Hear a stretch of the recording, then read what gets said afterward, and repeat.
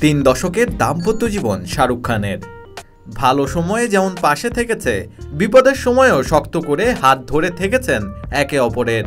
তবে নিজের জীবনের অন্যতম কঠিন সময়ে গৌরীকে ছেড়ে অচেনা এক ব্যক্তির দরজায় কড়া নাড়তে হয়েছিল শাহরুখকে। বলিউড বাদশাহ শাহরুখ খান ও তার স্ত্রী এমনটাই জানিয়েছেন একটি অনুষ্ঠানে। সম্প্রতি মুম্বাইয়ের এক নামী হোটেলে উদ্বোধন হল গৌরী খানের নতুন কফি টেবিল বই। মাই লাইফ ইন ডিজাইনের বই প্রকাশ অনুষ্ঠানে গৌরীর সঙ্গে উপস্থিত ছিলেন শাহরুখ খান নিজেও। সেখানে মান্নাত কেনার সময়ে একাধিক ঘটনা নিয়ে স্মৃতিচারণ করেন শাহরুখ খান। বলিউডে নিজের কর্মজীবনের শুরুর দিকে মুম্বাইয়ের তাজ হোটেলের কাছেই একটি ফ্ল্যাটে থাকতেন শাহরুখ ও গৌরী। শাহরুখ জানায়, এই ফ্ল্যাটটি ছিল তার পরিচালকের।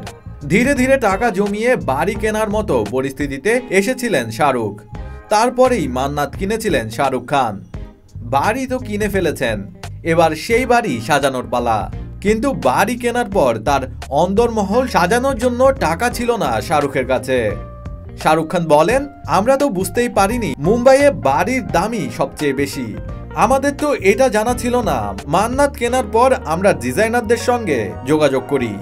তিনি আমাদের লাঞ্চে যা খেতে দিয়েছিলেন তার মূল্য আমার মাসিক পারিশ্রমিকের চেয়েও বেশি।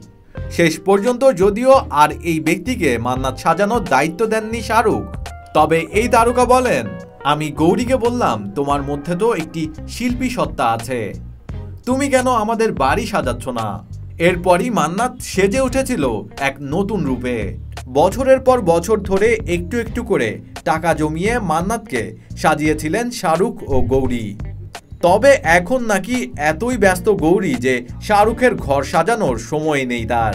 অনুষ্ঠানে মজার ছলে এই কথাই বলেন শাহরুখ খান। বলিউডের এত বড় তারকার স্ত্রী হওয়া সত্ত্বেও স্বামীর খ্যাতিকে কাজে লাগিয়ে কখনো নিজের ক্যারিয়ার তৈরি করার কথা ভাবেননি গৌরী। অনেকটা সময় লাগলেও নিজের পরিশ্রমের উপর ভর করে শুরু করেছেন নিজের সংস্থা। চল্লিশ বছর পেরোনোর পর প্রতিষ্ঠিত হয়েছেন অন্তর্সজ্জা শিল্পী হিসেবে।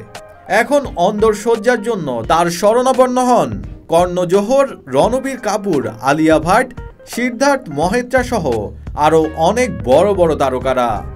শাহরুখ সেখানে বলেন, এখন আমাদের বাড়িতে সবথেকে বেশি ব্যস্ত মানুষ হলো গৌরী।